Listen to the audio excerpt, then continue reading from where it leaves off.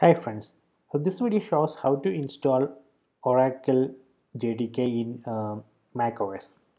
So search for Oracle JDK in Google, then open uh, this site oracle.com.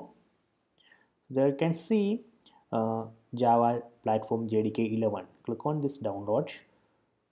So in this page, if you scroll down, so there you can see macOS. So there is two files, one DMG file and gz file. So I am going to download uh, this uh, bin.tar.gz file. Click on this link.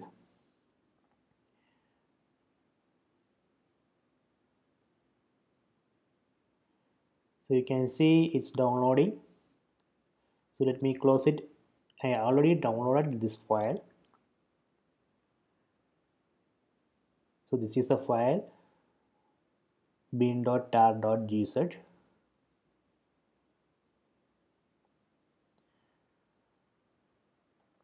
so this is the file open a terminal. So first we need to enter this file. So if I run java hyphen version you can see java is not installed in the system.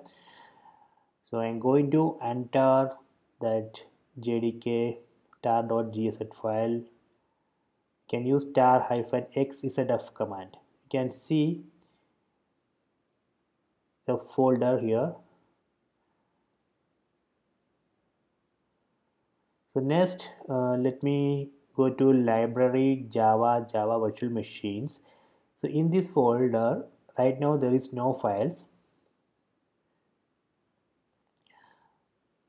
so I am going to move this uh, JDK 11.0.2.jdk folder to library java java virtual machines. So just move it under it then just move that folder to the library java java virtual machines directory. That's all. Now we have successfully installed java jdk 11 so we can confirm it by just run java hyphen version. See it's showing java version 11.0.2 so if you run javac hyphen version you can see the version number here. So this is very simple. Just download tar.gz file then enter it then move. So let me create a one simple hello world program so this is a hello world program. Just printing hello world. Then I'm going to compile it. Then you can see dot class file has created. Then run it with java command.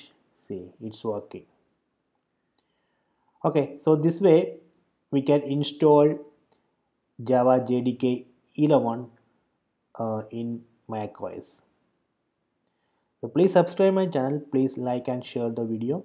So if you are facing any issue when you install jdk please comment below. I will help you